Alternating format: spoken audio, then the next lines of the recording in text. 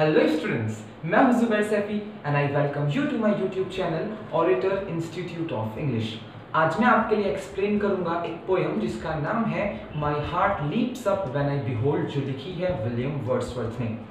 नौ लाइनों की ये छोटी सी पोयम है और इसे लिखा गया था 26 मार्च 1802 को और इसे 1807 में पब्लिश किया गया था एक एपिग्राफ के तौर पर और ये एपिग्राफ थी एक बहुत ही इंपॉर्टेंट पोयम की, जिस पोयम का नाम है ऑड इंटीमेशंस ऑफ़ इमोर्टैलिटी की। इसी पोयम में इंग्लिश लिटरेचर की एक बेहद ही हिस्टोरिकल लाइन आपके विलियम वर्ड्सवर्थ ने लिखी है, और वो लाइन है the child is father of the man ये एक पैराडॉक्सिकल स्टेटमेंट है, जिसको हमने एक्सप्लेनेशन में बहुत डिटेल से समझाया है। आपको ज़रूर समझ में आ जाएगा। स्टूडेंट्स अगर आप चाहते हैं कि मैं रेगुलर आपको वीडियो बनाकर देता रहूँ तो आप मुझे पेट्रियन पर सपोर्ट कर सकते हैं। लिंक उसका डिस्क्रिप्शन बॉक्स में दिया गया है। मिलते हैं एक्सप्लेनेशन के बाद।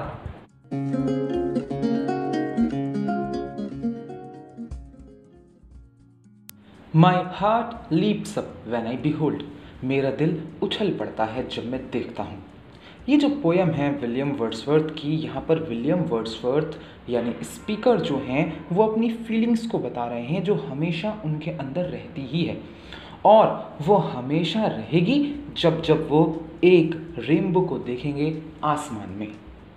वो जब भी रेनबो को देखते हैं, उनका दिल जो है रिजॉइस करता है, खुशियाँ मनाता है।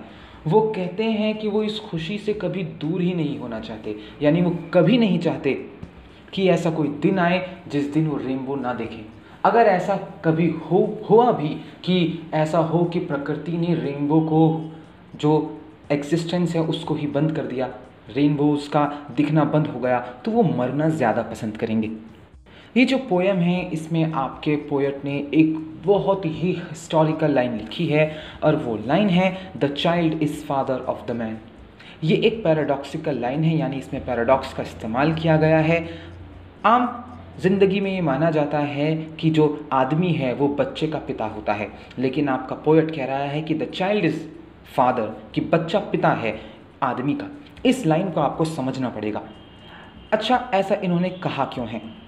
क्योंकि हमारा जो प्रेजेंट है, हमारा जो वर्तमान है, वो हमारे पास्ट का, हमारे भूतकाल का ही तो आउटकम है।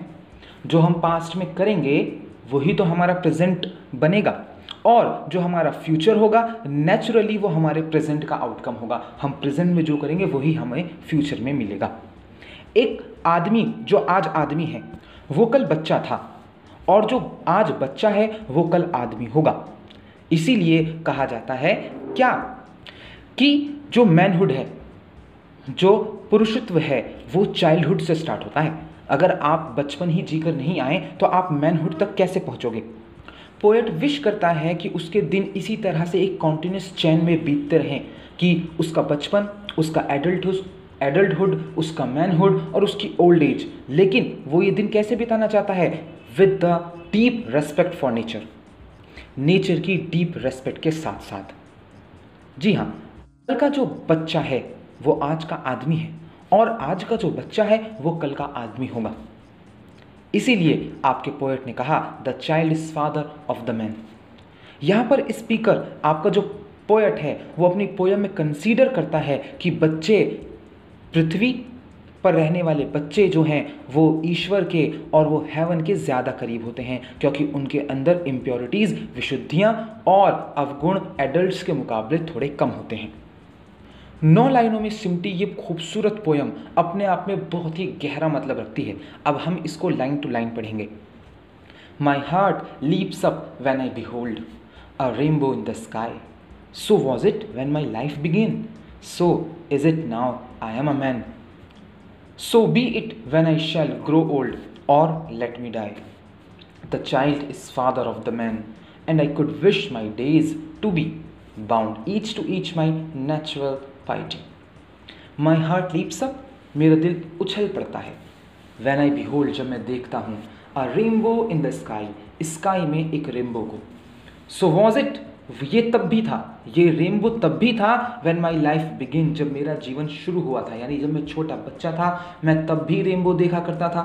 सो इज़ इट नाउ और ये आज भी है। आई एम अ मैन जब मैं आदमी हूँ। सो बी इट ये तब भी होगा। When I shall grow old जब मैं बूढ़ा हो जाऊँगा। और लेट मी डाई अगर ऐसा नहीं हो पाया कि जब मैं बूढ़ा हो जाऊँ और रेनबो मुझे दिखना बंद हो जाए तो मैं मरना पसंद करूँगा। The child is father of the man बच्चा जो है, वो आदमी का पिता है। And I could wish my days to be और मैं चाहूँगा कि मेरे दिन कैसे रहें। Bound each to each by natural piety वो बंधे रहें एक दूसरे से। नेचुरल पाइटी पाइटी कहते हैं ईश्वर भक्ति कि मैं नेचर को पूछता रहूँ मैं नेचर की ईश्वर भक्ति में लगा रहूँ। वो चाहते हैं कि उनका बचपन उनका एडल्टहुड उनका मैनहुड उनकी ओल्ड एज इस तरह से उनके दिन बीतें कि वो अपनी आखिरी सांस तक नेचर की ईश्वर भक्ति में लीन रहें वो नेचर को पूछते रहें और नेचर की खूबसूरती को निहारते रहें और उनका हार्ट जो है वो उछलता कूदता रहे। So so, students I hope आपको एक्सप्लेनेशन समझ में आ गई होगी। मिलते हैं नेक्स्ट वीडियो में। तब तक के लिए बाय बाय चार काम ज़रूर करने हैं। लाइक कमेंट शेयर और सब्सक्राइब सब्सक्राइब ज़रूर कर लें और शेयर ज़रूर कर दें चलिए, जल्दी ही आपसे मिलते हैं। बाय आप मुझे इंस्टा पे ज़रूर फॉलो कर लें। लिंक डिस्क्रिप्शन बॉक्स में है। वहाँ हम आपसे बहुत सारी बातें करते रहते हैं। बाय